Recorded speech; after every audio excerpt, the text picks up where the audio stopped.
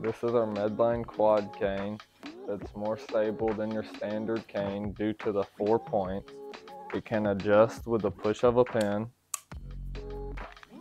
and swivels from side to side to help support the side that needs it most. You know anybody this can benefit?